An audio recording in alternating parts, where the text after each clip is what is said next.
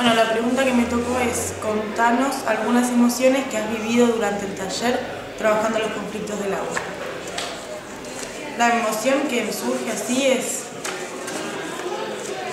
que está, está bueno lo que está despertándose, que estemos acá hoy reunidos de diferentes lugares y diferentes áreas y todos reunidos por un mismo fin, ¿no? que es la conciencia del agua, es algo bueno, algo que se está despertando en todos. Y,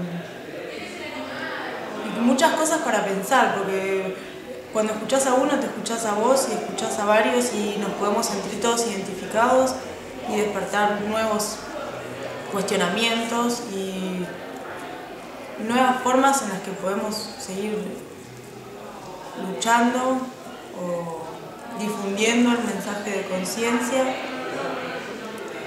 Bueno, eso más que nada, como no es felicidad, es algo parecido pero no sabría cómo decirlo, que, estamos todos acá y todos interesados por esto y es algo bueno, ¿no? algo que se rescata bueno de hoy en día entre tanta cosa mala.